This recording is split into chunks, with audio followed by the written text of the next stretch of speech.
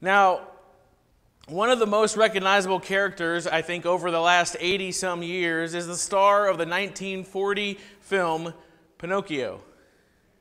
Pinocchio, if you don't know, or just to refresh your memory if it's been a while, Pinocchio was first a wooden puppet, right? Carved by Geppetto, his father, who wished that Pinocchio was a real boy. That was his wish. Uh, you know, he wished that he had a son. Pinocchio then becomes almost a boy, almost because he, he's able to speak and to move on his own, but not fully because he's still made of wood. And so the way that the story goes is that Pinocchio wants more than anything to become a real boy. Does that sound familiar? Does anybody remember the story of Pinocchio? Did anybody watch, see the movie, maybe read the book? Any of that kind of stuff? Yeah, that's good. Well, the, the main thing that Pinocchio wants is, is that he wants to be a real boy, and they say if he can just be good, you know, he can prove that he can be good, then they'll turn him into a real boy. So he sets out with his focus, determined to become a real boy. Now, on the way to school, if you remember, he's there, and here comes Honest John. And Honest John says he's going to help Pinocchio in many different ways. But one way is that he diagnoses Pinocchio with being allergic.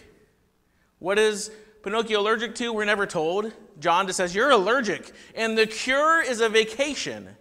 Does anybody feel like they could use the cure of a vacation right now? Yeah. A few of you. The rest of you, well, God love you. You're just enjoying life and you don't need to go on vacation. God bless you. That's awesome. Uh, but, but he says the cure for you being allergic is that you need a vacation to Pleasure Island. So John describes Pleasure Island as a land for boys where every day is a holiday, right? And no one will tell them what to do. Man, is there anything else that a kid wants to hear and they, they, no one's going to tell them what to do?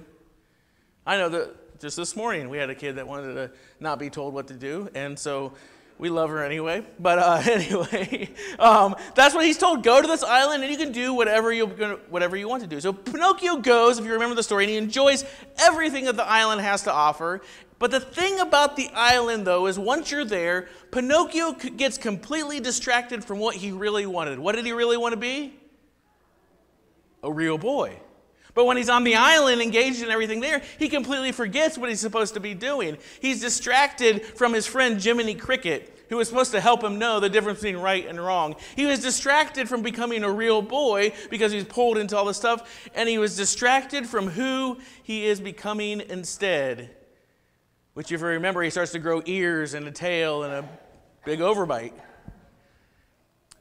As we open the Bible to the end of, of 1 Peter this morning, we find the New Testament uh, uh, writer giving a full, final encouragement and warning to his readers that they not ignore the powers that are at work, that they not get distracted by the tactics, but instead remain focused and faithful into who they are becoming in Christ. Do not get distracted by everything else. Don't get distracted as if you're on Pleasure Island, but instead stay focused on who you want to become, just like Pinocchio wanted to become a real boy. So, as readers today, what does this mean? Do you ever find yourself so wrapped up in the whirlwind of life that you might lose track of kind of the bigger things going on in life? I mean, whether there's the hourly demands of a job or the minute by minute attention that's needed by a little one, or even a few minutes you might steal away to kind of disengage from the chaos of life to rest your mind and your emotions, sitting down maybe with a long sigh to just engage a screen for just a little bit. If that's you, if that's us, if that's any of us today, then I think Peter is speaking to us as much as he was to his first century audience here. And let's see what Peter has to say, beginning uh, in the fifth chapter in the eighth verse. Here's what Peter says He says, Stay alert. Watch out for your great enemy, the devil. He prowls around like a roaring lion, looking for someone to devour. So Peter has spent more than four chapters of writing about writing about persecution, writing about suffering, about how to live like Christ despite the world around us. So at this point, when we get to Peter 5 8, what he's doing is he's shaking his readers, he's slapping them in the face, and he's saying, Stay alert, don't fall asleep, don't be lulled to sleep by the daily grind of life. Some translations say things like, Be sober minded and alert. Others might say, be self controlled and vigilant. And so, what Peter has here, it's a wake up call to take what he's about to say very seriously.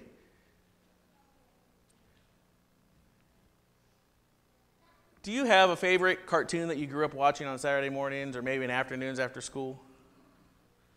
Anybody ever watch cartoons? Let's start there. okay, all right, just making sure. Just, what was your favorite? Howdy Doody, Road Runner, Bugs Bunny, Mighty Mouse, Tom and Jerry. Any others? Lone Ranger? All right. Well, one of my favorite growing up was Scooby Doo. And what Peter is about to say here, it's kind of like the end of Scooby Doo. I don't know if you ever watched that or if you had kids that watched that or grandkids that watched it or anything like that, but, but Scooby Doo, about every episode, there was a mystery. And there was some kind of monster or some kind of thing that was terrorizing some group of people. And so here we show up Scooby and the gang to solve the mystery. And after some fun hijinks of running around, they'd capture the monster or the whatever it was at the end of the show, and the moment of truth would come. Who was the person who was behind all of the issues? And boom, they'd pull off the mask, right? And zoinks, it would be like this guilty party that they had met earlier in the show, and they'd say, What? It's, you know, mean old Mr. Mustard, or I don't know, whatever. You know, they'd say, Oh, it's that guy, I can't believe it. And the, the guy at the end, when they pulled the mask off, or a woman at the end, when they pulled the mask off, would always say, and I would, I would have gotten away with it too if it hadn't been for you pesky kids and your dog. So, after spending all this time of writing about the trials and the troubles of his readers, Peter is making sure here to unmask the one behind all of the issues that they would face in life. Surprise, surprise, it's the devil. The enemy of your soul is what he's saying. So Peter describes the devil like a lion prowling around, waiting for just the right time to pounce and devour you. Now, I know there probably has to be at least one person in this room or watching online that might think, you know what, we're too sophisticated, we're too modern, we're too smart, we're too logical to believe in the devil. But if you were to say that to Peter, he would splash water on your face and saying, Stay alert, take this seriously. This isn't just fairy tales. The one behind the persecution that I've been writing about for four chapters, the one behind all the trials, the one behind the opposition, it isn't just bad luck, it's the devil.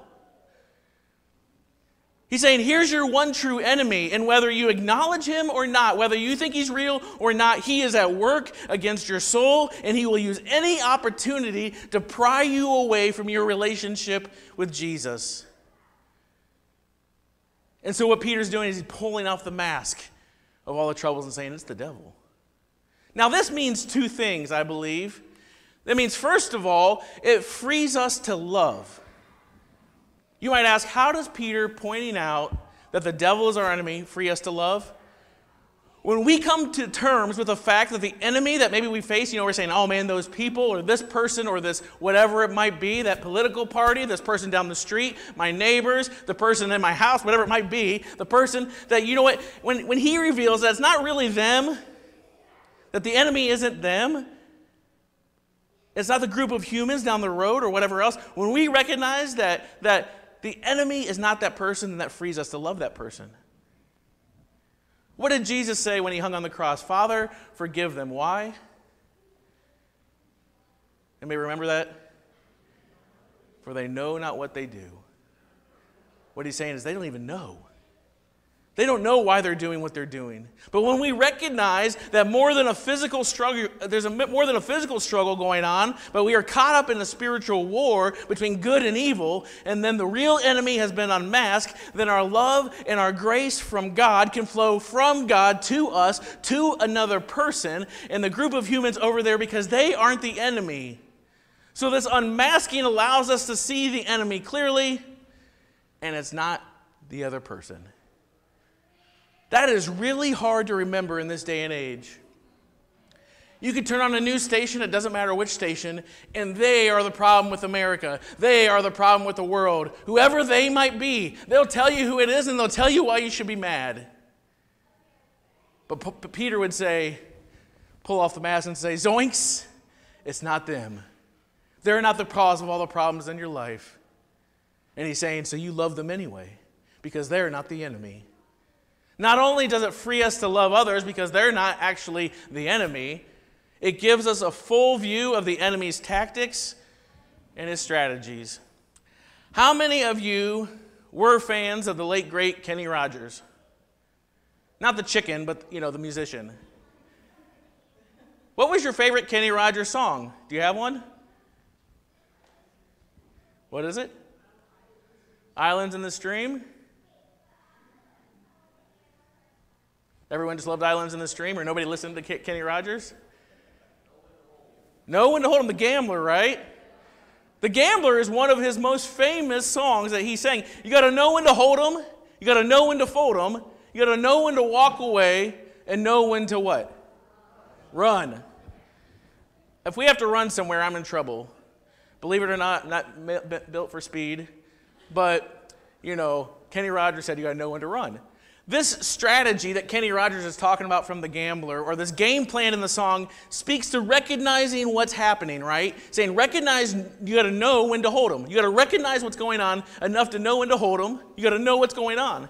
And so he's saying, recognize what is happening and respond appropriately. In the same way, in this passage, Peter unmasks the enemy. He finishes pulling into the light what Christians will face in life, so we're not caught off guard. And so when we see, what we see then is that the strategies for the devil to trip us up are persecution or other attacks on us, as well as temptations that to live in ways destructive to your faith. And so those are the only two tactics of the devil. They're, they're the same tactics. It's persecution, attacks, a lot of it verbal more than anything, and to tempt you to live in ways that will destroy your soul. Peter actually spoke about this earlier in 1 Peter chapter 2 verse 11. He says, "Dear friends, I warn you as temporary residents and foreigners to keep away from worldly desires that wage war against your very souls."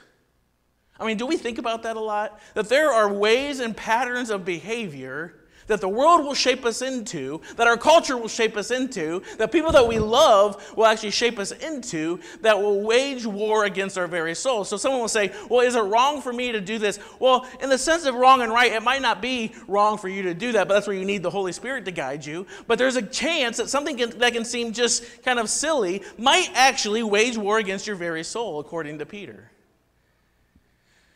And so he's saying, keep away from desires that wage war against your very souls. How will you know what those desires are? Well, you have to be in a relationship with the Holy Spirit for him to speak to you. And so Peter, in all of this, is saying, stay alert. These aren't just mind games. These aren't just Saturday morning cartoons. They aren't just great American songs. The enemy is real and he's trying to devour you through the only power he has, which is persecution and through distracting you. He wants to bait you to behave in ways contrary to who you are becoming in Christ. The same way that Honest John baited Pinocchio into behave in just whatever on Pleasure Island rather than becoming a, a real boy. So, what is Peter saying? This isn't just about ignoring our Jiminy Cricket. It's that we get distracted from becoming what God created us to be. And instead of growing ears and tail and an overbite, we're actually going to become someone that's separated from Christ. So when we forget that our enemy and the enemy becomes that person or that family or that political party or that class of people, then we are making them the devil and then we feel, we feel free to unleash our anger, our judgment, and our contempt on them. And when we do that, then we are, dis- we are parting ways from the way of Jesus. That's when we grow ears because we believe, like the culture, that says that person is your enemy and you need to destroy them. That's when we believe, we behave like people who are not becoming Jesus, but just becoming a regular old donkey. There's another word you can use for that, and you'll feel free to. Not only that, but it's a foothold to be swallowed whole. Our life, our reality, and our testimony can consume us in the temporary rather being wrapped up in the eternal. How many people do you remember? And I don't know, I wasn't here, you'll know. 2020 was an election year. How many people were just consumed with that? I'm sure none of you here, but probably somebody you know. They were so wrapped up in that, they were so consumed in that, they thought, man, if this happens, and then it's going to be the end of the world, or if this happens, and on both sides, they're saying the same thing. You could take off the name and everyone's saying, if this happens, if they win, then XYZ is going to happen. And the other side saying, if they win, XYZ is going to happen. And we get so caught up and we get so consumed with it, we start hating people based on who they're going to vote for. And Peter is saying that's not the way of Christ. He's saying, don't get distracted by this. Don't get distracted by these things that you think are important. It's not that they're not important, but compared to the eternal glory of God. He's saying when you look at that and you're mad, you're going to pull the mask off. Zoinks, they're not the enemy. The devil is. He's saying stay alert, recognize the real enemy, and understand his tactics. Then he writes this Stand firm against him, talking about the enemy, the devil, and be strong in your faith. Remember that your family of believers all over the world is going through the same kind of suffering you are. In his kindness, God called you to share in his eternal glory by means of Jesus Christ. So after you have suffered a little while, he will restore, support, and strengthen you, and he will place you on a firm foundation. All power to him forever. Whoops. To him forever. My purpose in writing is to encourage you and assure you that you are who are experiencing is let me start again. My purpose in writing you is to encourage you and assure you that what you are experiencing is truly part of God's grace for you. Stand firm in this grace. Peter reminds his readers to stand firm and to be strong with their faith. We might be tempted to think that their firmness and their strength come from just kind of gritting our teeth. You know what? Because sometimes that's how we're taught. Just hang in there, try really hard. But it's actually in our commitment to our faith in Jesus that bears the strength out. It's our faith in Him that is firm. And the joy of the Lord is our strength. Didn't we sing that this morning? It's the joy of the Lord that's our strength. So if we are in the joy of the Lord, then that will be our strength. According to the prophet Nehemiah, by the grace of God, the joy of the Lord is our strength. This is the anchor that keeps us from getting blown around by our circumstances. It's the belief that, that the unseen is true because of God's revelation through his son, Jesus Christ. Stand firm by the grace of God, he says. Stand firm in the faith that there is more to life than what we see. There's got to be. There's got to be more than what we see because our eyes will tell us that, you know what? The whole world's going to hell in a handbasket. But what does the scripture say? He is making all things new through Jesus Christ. You turn to Revelation, what happens? There's a new heaven and a new earth, and they come together and they're joined together, and the presence of God fills the whole thing. So are we doomed? No. We have hope because of Jesus Christ. And so we don't just believe our eyes, we believe that even the unseen promises of God are true. That's called faith. If you only believe it when you see it, that wouldn't be called faith. That would be keen observer, I guess. So he says, Stand firm the conviction that Jesus has done a mighty work for you, in you, and through you, all by his grace. This power of grace is the same power that raised Jesus from the grave, and it is, um, it is more powerful than the devil. So don't give in. The Lord will keep you, is what Peter would say. Give in to what? The temptation and the bait to behave like everyone around you to get distracted from what is right, to get distracted from what is true, to get distracted from becoming who Jesus created and saved you to become. Don't get distracted. Don't give in because it wages war on your soul when you behave like the world around you. Don't get distracted. Don't give in because it will destroy you. You have been called, you have been rescued, you have been adopted and you are being made new by the power and the grace of His Holy Spirit. So don't give in. You have been set apart by God, and your focus is to be on the risen King, Jesus Christ. For many of us, the devil, I think, has become kind of like the harmless caricature, you know, like the little cartoon standing on your shoulder, you know, has a pitchfork and maybe a tail, and he's kind of red and has some horns or something.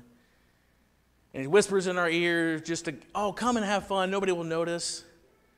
Or something that's kind of far away in hell and it doesn't really impact us. It's just kind of a fantasy or something like that. For others of us, we hyper focus on the devil, right? We blame everything on the, on the devil. We say, oh, that rained today. That devil. We got a flat tire. That devil, he got me my tire. We drive through McDonald's and the ice cream machine is broke down again. and we're saying, the devil got me. Thank God there's Whitey's, though, right? Anyway. but the reality check that Peter gives here is to remind us to remain in the middle between hyper focus on the devil and not and ignoring him completely, but to stay alert and aware.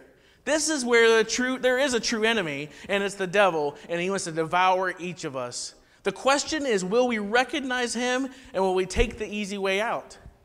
Now, he might not draw you to the, to the bright lights, loud noises, and free food of Pleasure Island, but the devil is at spiritual war, and the prize is the separation of a person's soul from God. That's all he wants.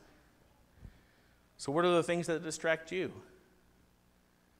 Maybe you're someone who's never really surrendered your life to Christ. You might believe in him, you might think he's great, but maybe you've never actually surrendered your life to Christ. Maybe you haven't lived this life that Peter is encouraging his readers to be strong. And maybe you thought you were going your own way, but you realize that you're becoming someone you never intended. Have you ever woken up and saying, How in the world did I get here? Maybe you haven't, but I know I have. Now, maybe you didn't grow ears, a tail, and an overbite, but maybe you are feeling empty, or maybe you are feeling alone. Maybe you're feeling worthless. Maybe you're feeling ashamed, or like there's no purpose of life, and even if there was, no one really cares. I want to tell you that if you're hearing that, those are lies from the devil. And that you can turn right here and right now away from things that would tell you that, and you can turn towards Jesus. You don't have to clean yourself up first to meet Jesus. You don't have to journey first into a giant whale or call out for Jiminy Cricket. You only need to call out to Jesus, and He will rescue you. If you'll repent, which means to turn away from going your own way to go the way of Jesus, He will forgive you, He will redeem you, He will adopt you. He will fill you with His Holy Spirit and He will transform your heart. And it happens in an instant, but it also happens in a process where more and more every day, if you allow Him, He will make you more like His Son, Jesus Christ. Jesus will take you where you are. So many times we think, well, I got to do these things before I come to Jesus. No, you don't. He meets you where you are. He doesn't say, clean yourself up and come to me. He says, let me pick you up and carry you to my table. He will bring you to Him and He will rescue you. Jesus will take you where you are and give you a new life and a new purpose. He will begin you on a journey to becoming a real man or a real woman as He intended when He created you. Maybe you're saying, hey, I gave my, my life to the Lord a long time ago. But recently you realize that you become distracted. Maybe it's the daily grind just is wearing on you, and you're saying, I, I, still believe in Jesus, but I don't know where it is. Or maybe you're distracted by your bills. Maybe you're distracted by this pandemic that seems like every time it goes away, it flares back up. Maybe you're distracted by an election, whether it's the last one or the one coming or wherever it might be. Maybe you're distracted by a screen. Maybe you're distracted by your past. Maybe you're distracted by worry or anxiety, distracted by and caught up in a way of life that everyone else seems to be living, and you can't say you've been alert that instead you could say, I've just been hanging on. Can you just let go of it all and grab onto Jesus? Can you let go of being the sheriff of everything and just grab onto Him? Can you remember your calling? Can you remember that you're loved, that, you're that your value and your worth to God who created you and rescued you? Can you take your eyes off of this world and put them back on the kingdom of God? Can you surrender not just your Sundays, but your Mondays through your Saturdays to Him? Can you surrender your relationships, your friendships, your single life, your married life, your online life, your real life, and allow Jesus to continue to transform you? Can Jesus have your attention? Can He have your focus? Can Jesus just not have your life when you die, but can He also have your life right now? Because that's what he wants. Can you be aware that they, whoever they are, aren't really the enemy? And can that free you instead to love them? Beware of the lion and instead run to the king. One wants to devour you, but one wants to make you whole. One wants to put you in bondage, and one wants to set you free. One wants to destroy you, and one wants to make you new. One wants to separate and to kill, and one wants to unify and give life abundantly. I know you're smart enough and you're brave enough to choose the king instead of the lion. So let's stay alert. Let's choose Jesus every single day, and let's invite others to do the same so that we can live into the life for which He created us. Stay alert. Be awake. Know when to hold them, know when to run away. Jesus will get you through. Amen.